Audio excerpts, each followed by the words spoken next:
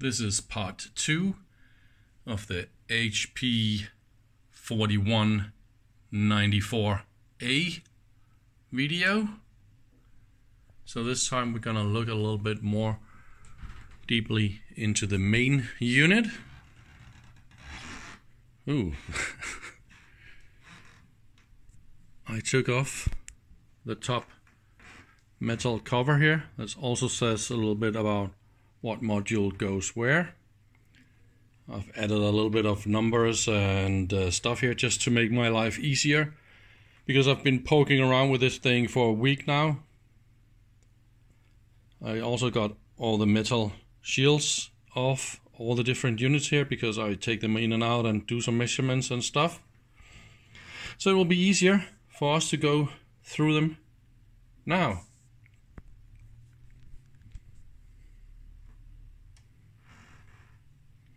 So this is the power supply, the switch mode power supply. It consists of three modules. Let me take them up. The three power supply modules, A1, A2 and A3 module. The one in the middle, the A2 module, is the switch mode half bridge or the, the, the transistor driver half bridge with the transistor drive system and the regulator board or the PWM regulator chip. And see this is what goes through this entire unit is the way that they are um, integrating um, SMD components it seems like they don't want SMD components on any main boards. They rather want them on uh, thick film boards or plug-in boards like this. So you really see no SMD components on any of the main boards.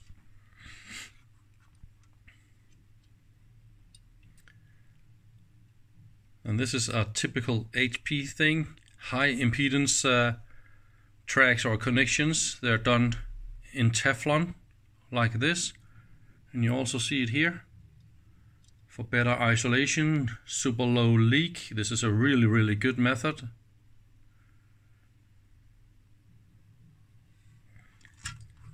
And this module had this cover mounted on it with a warning about severe electrical shock.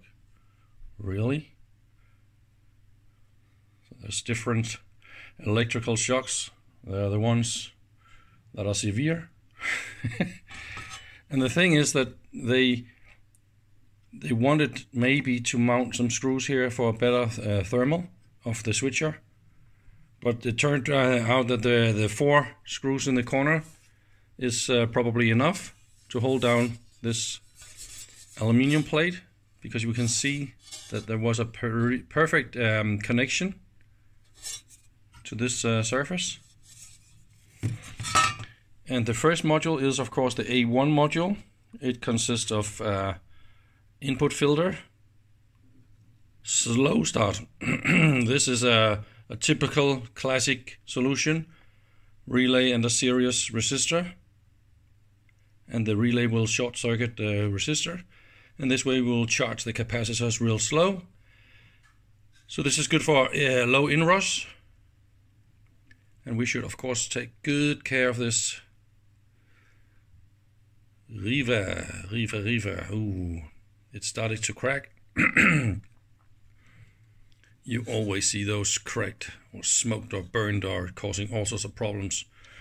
I really don't like them, but so there's a lot of capacity here. So this is the DC high voltage main bus that goes straight to this module and then it is switched and this is the transformator section. And you'll see something that I find a little bit interesting on this module.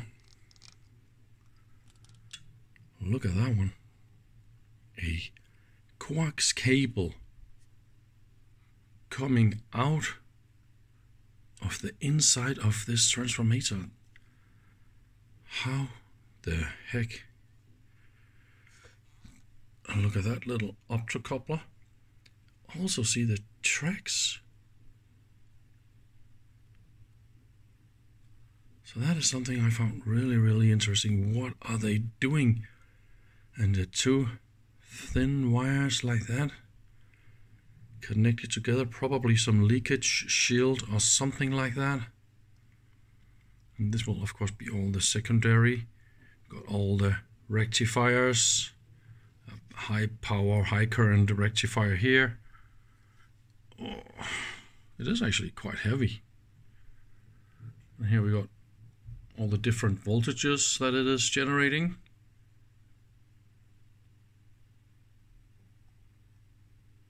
And those, of course, are all perfectly fine.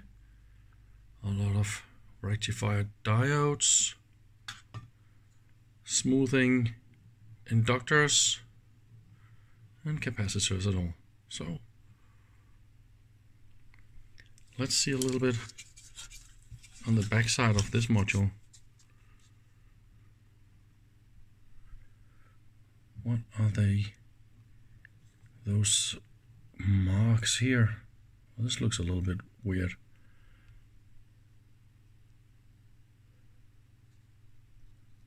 And those tracks, I really can't figure out by looking at the different layouts or the different boards uh, in this unit if they used CAD or all sorts of uh, manual method to design those boards. Because you will see a lot of the tracks they aren't parallel and angles are just any angle and you see here is a little bit sloppy jobby you know the way that tracks go See, the angles of anything is just any angle anywhere. Not that there's, there's anything wrong with that, of course not. I would just love to know if this is done in CAD or manual. Another thing you should maybe see as well, because they just love to do all the details. Super, super nice. So this is A1, A2, and A3, right? Look at the color codes 0, 1, 0, 2, 0, 3. and even, see here, all the plastic that it clicks into is also the right colors. Wow, they just pay attention for details. See, and it goes on and on six, seven, eight, nine, la la la la la. Oh, and then ten. Okay. One, zero, and one, one. I mean, I just love this. HP and all that cool, cool details. And also, so this is the room for all the digital stuff. See, that is a closed room. And then we got the, all the analog stuff is again in its own room. And we also see this in the power supply. There's also a closed room. So they they just know what they're doing. They really want to get super performance out of this. The A6 board is called Data Manipulation Processor. 68,000 and it's running at 10 megahertz. This is a 10 megahertz device and here's a 20 megahertz crystal so there's a clock divider somewhere. So all the program memory is EPROMs. We've got some static RAM and it is battery backed up. This is not an original lithium cell but two nickel cadmium cells. And I measured this voltage to be two and a half volt. So somebody repaired this.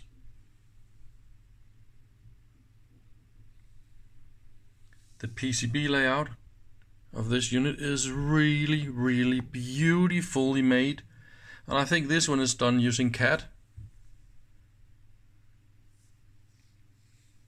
It is a four layer board.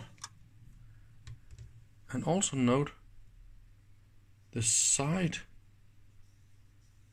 metallization here. This connects to the metal in the case for good grounding and shielding. Let's look at the other side.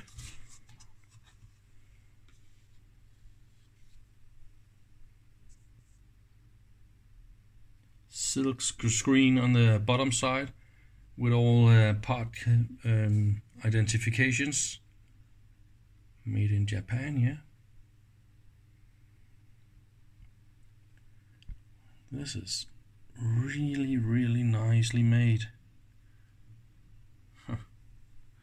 Well, that battery repair is not so nicely made, but anyway, if it works, it works.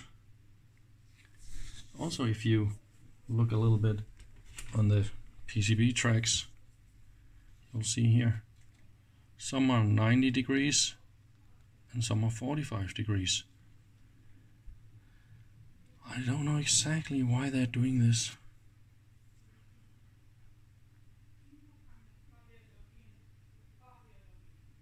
It looks like some some places I see a little bit of weird angles or weird tracks. And of course I, I see those things because I design PCBs for a living so it's quite funny to see 90 degrees and then 45 degrees and in a mix like this. And also the distance between tracks. Why would you put those so close when you got all this space?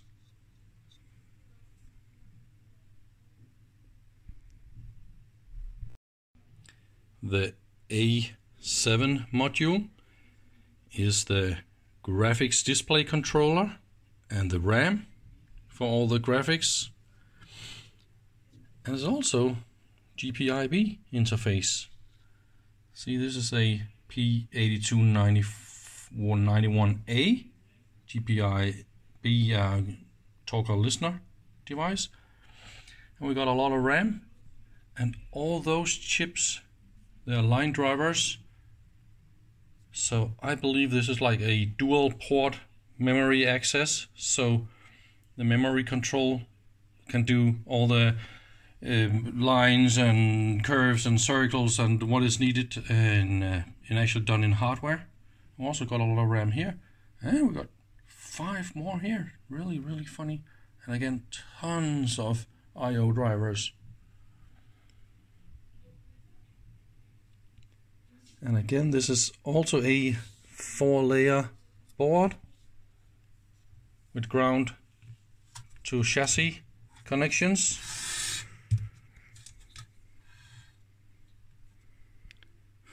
Beautiful designed four layer board. And some of it looks a little bit like manual, especially when you see the tracks that do many, many different angles and methods done in the layout here. You see stuff like this all over. See all those weird angles and then and look at that track. Why is it going this way and then out again? So some something was maybe here or they tried to make space or something that they didn't use the space and then they forgot to clean it up.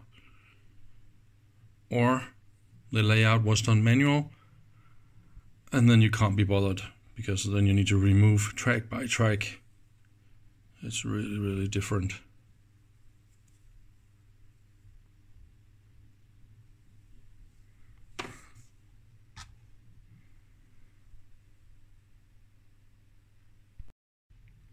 The A8 board is the measurement control processor board. And again, there is a 68K This is also running at 10 megahertz, by the way. This one, I'm not able to to Google whatever that is. Those are timers. And then, then all the program memory. And it looks like all this EEPROM and RAM is configured for 8-bit operation. You see, all the data lines are just connected together like that. But this is a 16-bit data line processor, right?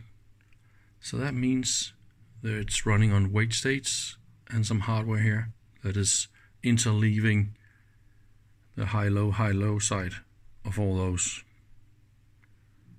Otherwise, it's not possible to interface this processor, of course. And you can see how it's done here. All the data lines, they just go through like this, revealing 8-bit memory interface. This is also a 4-layer PCB. But this 4-layer PCB consists of rectangular or square vias all over the place. And again, the layout is a little bit weird at some places. Again, the angled and the 90 degrees and the the spacings and such is a little bit weird.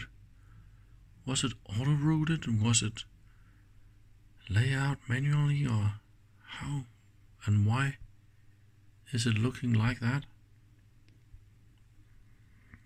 But other than that, it's really beautiful. It looks like they put a lot of time and energy into all this. You can see the tracks on the next layer here.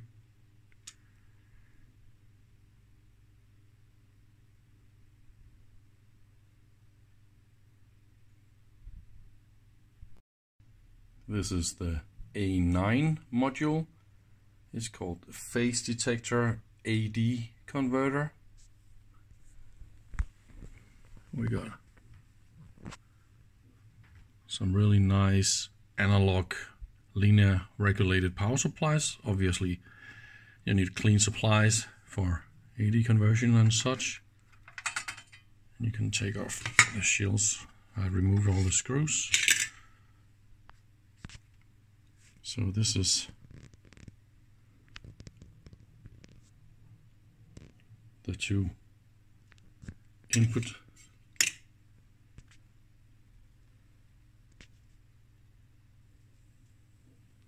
and look how nice they did it with uh, again the low leakage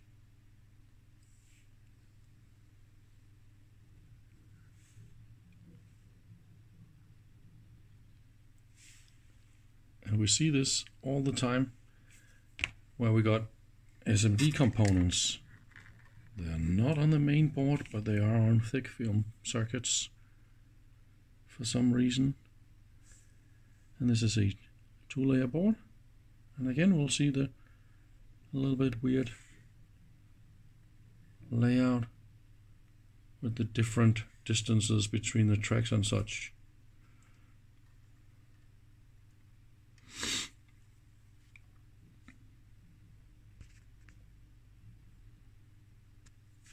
What have we got here on those?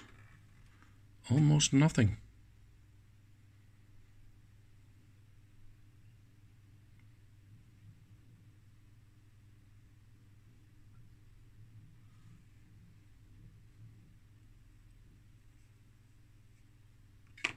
Let's see the back side of this board.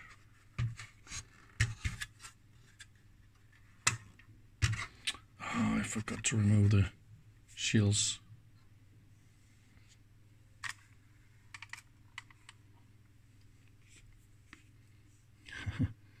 This is pretty good. So, so this is, a, of course, a sense track. and then we're doing regulation and stuff.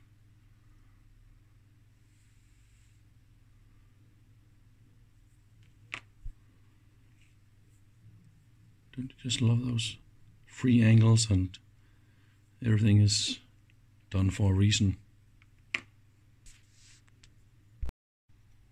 And we're still looking at the backside of A9 board. I took off the two bottom shields. So this is clearly something really important. The AD converters. That is of course very important stuff. It's a beautiful two layer design.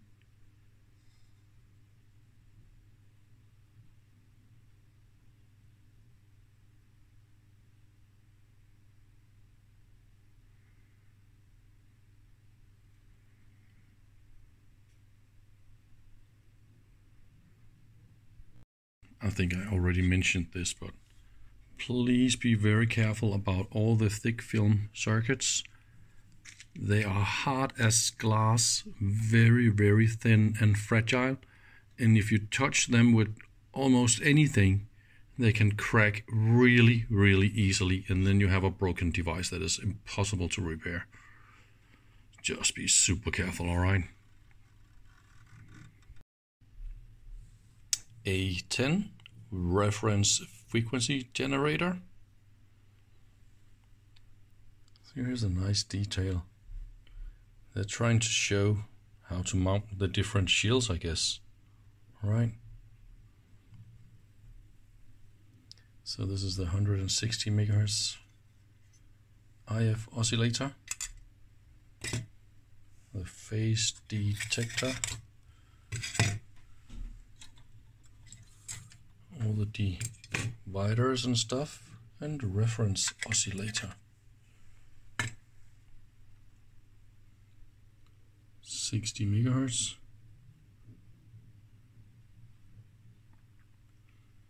And then there is a 160 megahertz VCXO. I bet that's in here. And then it's filtered and amplified and it goes back to the mixer here. And I believe this is compared also with this 160 megahertz but this is not exactly 160 megahertz because see I think they add these two frequencies or something like that.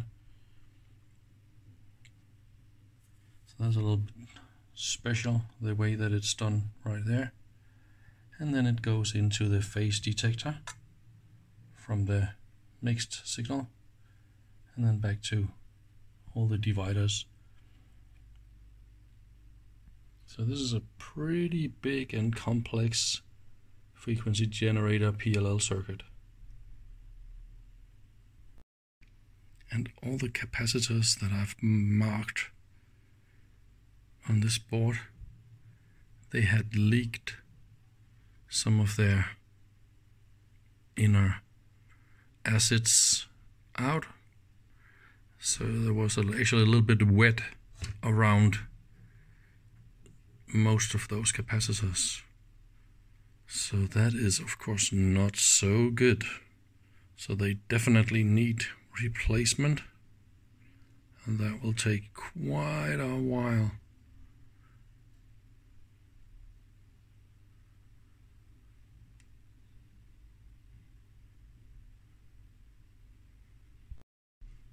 This is the back side of this module.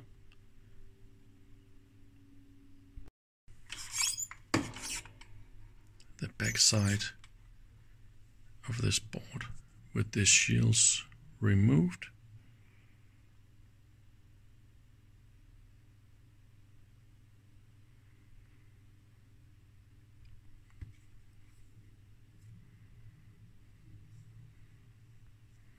So there will be all the dividers.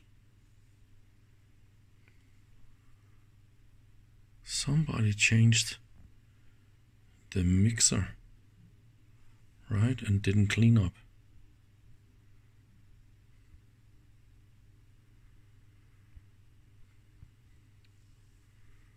And here is a really funny track. They cut something under here, so this is the VCO of the one of the crystal oscillators.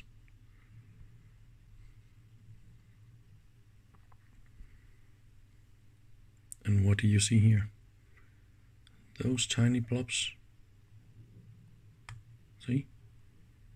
I have seen them all over all the boards. This is not so good. And if you look again,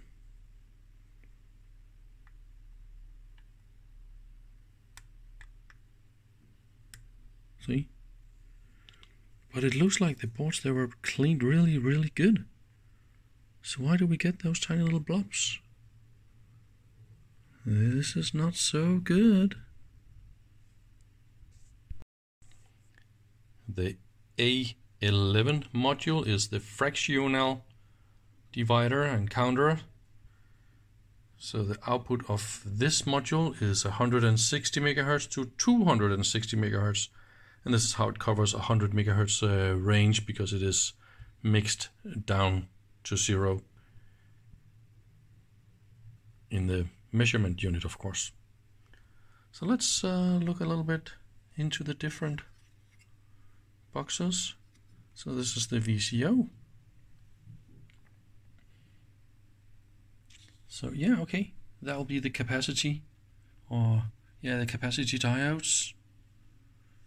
So that will be the oscillator, I guess, right? And a little amplifier. Some more amplifiers and stuff.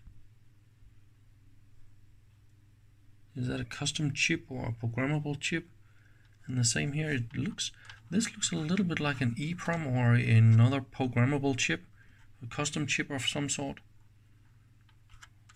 I can't uh, read the schematics because it's just super, super shitty quality, so I can't say a lot of intelligent about this uh, chip.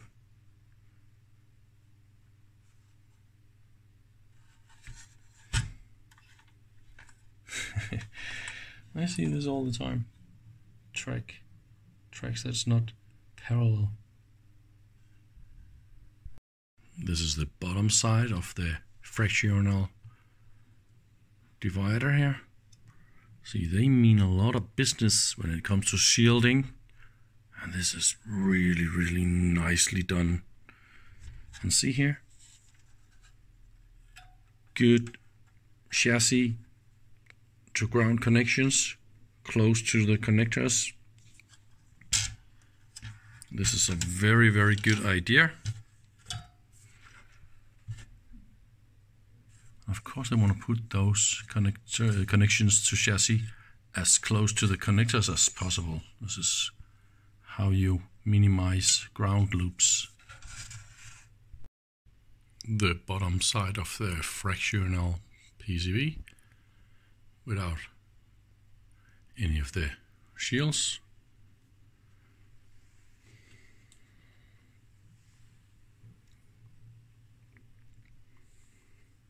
Look at the PCB layout. A lot of the tracks, they go really, really funny. This, I must say, it looks a lot like a manual layout without any CAD. Would you do this if you're using CAD? And would you do all these really funny angled tracks? I really like uh, the start point of uh, power supply. This is a good way to prevent crosstalks on power supplies from different circuits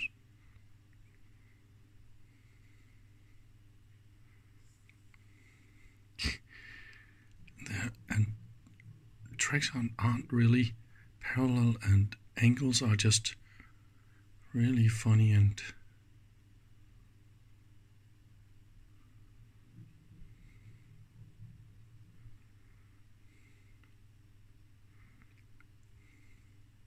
Here's another one. Why would you go all that way instead of just going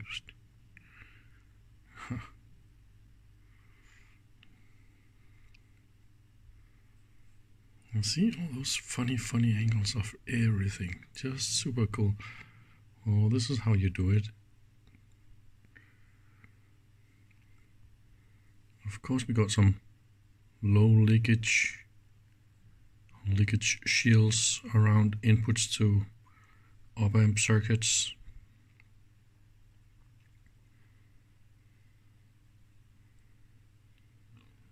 Tracks around here. Yeah. So it's better to go down there and then back clearly.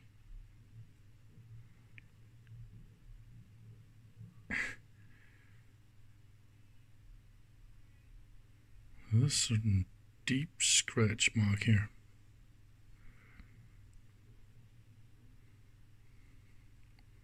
Yeah, I, I just love those routings. Absolutely fantastic. Anyway, that was a walkthrough of all the different um, PCBs